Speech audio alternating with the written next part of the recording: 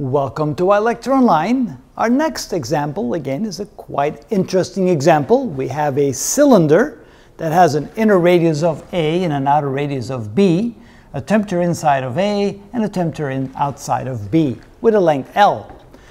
This particular cylinder has a variable heat conductivity constant. Well, it's not really a constant, it varies it is equal to a constant k sub naught times the radius squared. So it does depend on the square of the radius.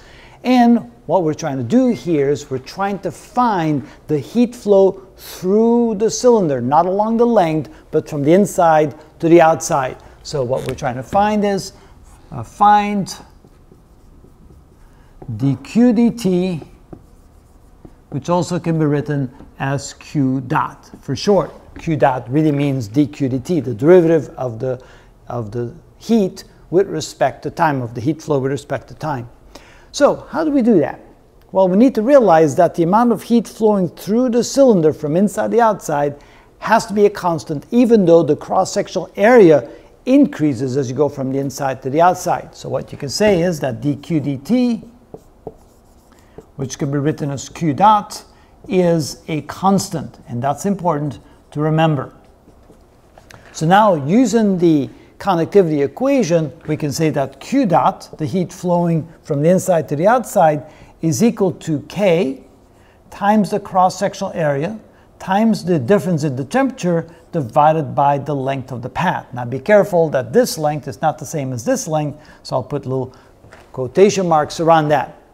So K is going to be this equation right here, so it's going to be some constant times r squared, that's going to be the k. The cross-sectional area, well, what we're going to do here is take an imaginary cylinder with thickness dr, like this. So let's say that this is a distance r away from the center. The thickness of that is dr, and so that shell of a cylinder is going to represent the cross-sectional area through which the heat has to flow. The heat is going to flow through the small little section from here to here, and so the difference in the temperature from there to there is going to be a dT, a very small change in temperature flowing from the inside to the outside through that small little cylindrical shell.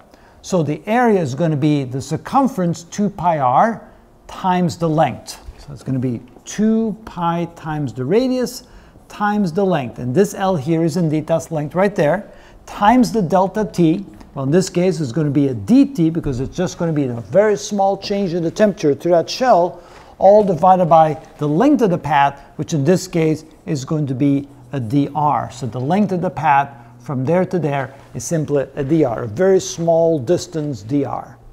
Now we realize that our equation, q dot being a constant, only has two differentials, dr and dt. So we're going to separate those two. So we can write this as, over here, dr divided by r squared times r, which is r cubed. So we have all the r variables on the left side equals, on the right side, we're going to have a k sub naught times 2 pi times the length, all divided by q dot, that's also a constant, times dt. So we've separated the variables. All this is a constant right here. These are all constants. I can now integrate both sides. And notice on the left side, I'm going to integrate from A to B, and on the right side, from temperature A to temperature B, which then allows me to calculate the Q dot, which is ultimately what I'm looking for. To integrate this, I'm going to rewrite this equation. We're going to write this as the integral of uh, r to the negative 3 dr from A to B is equal to, k sub naught, 2 pi L divided by Q dot, those are all constants, times the integral from TA to TB of dt. And now we're ready to integrate both sides. On the left side, this becomes r to the negative 2 divided by the new exponent, negative 2, evaluated from a to b, is equal to, on the right side, we get k sub naught 2 pi l over q dot times t evaluator from TA to TB. Now, plugging in the limits, we have 1 half times, the upper limit would be 1 over, uh, that would be r squared, and in this case it would be b squared, minus 1 over a squared is equal to k sub naught 2 pi l over q dot.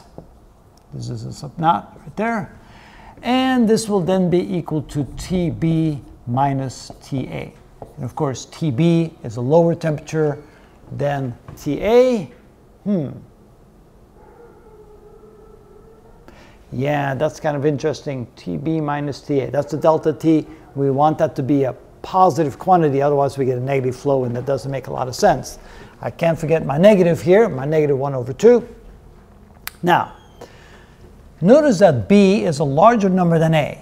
So 1 over b squared is therefore a smaller number than 1 over a squared. So I'm going to multiply both of these by negative to get rid of negative and reverse those, the order here. So this is 1 half times 1 over a squared minus 1 over b squared is equal to k sub naught 2 pi l over q dot times tb minus ta. Okay, it still bothers me that that is um, a negative quantity, which kind of is not what we want. We want that to be positive quantity, is the change in the temperature from high to low. And so TA is a high temperature TB, so what I'm going to do here is I'm going to reverse order from TB to TA from, so this becomes A, B, higher temperature, lower temperature, higher temperature, lower temperature, and here we're going to have this as high, higher temperature, lower temperature, so that we can see that the heat is flowing from the inside to the outside. Okay, it's just a sign change, and we just want to make sure that we understand the heat flow is going to be from hot to cold. Although that was not described here, the heat flow could be in the other direction as well. So finally, I'm going to solve for Q dot. So Q dot is equal to uh, that would be 2 times 2, which is 4, so that would be k sub naught 4 pi L divided by the quantity 1 over a squared minus 1 over b squared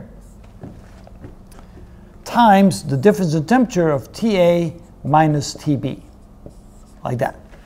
And that would be a final answer, although we could write this over same common denominator. We could write that q dot is equal to k sub naught 4 pi L over.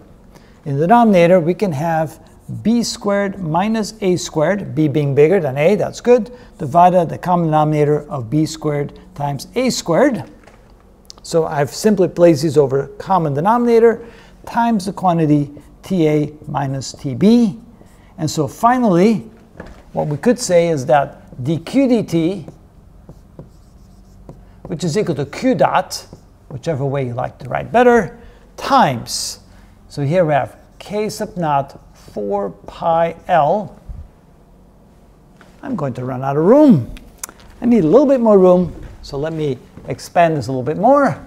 And so I'll just write it as q dot, q dot is equal to, we have 4 k sub naught, 4 k sub naught times pi L, pi L times a squared b squared, a squared b squared, times the difference in the temperature, Ta minus Tb, all divided by a squared, uh, b squared minus a squared, b squared minus a squared.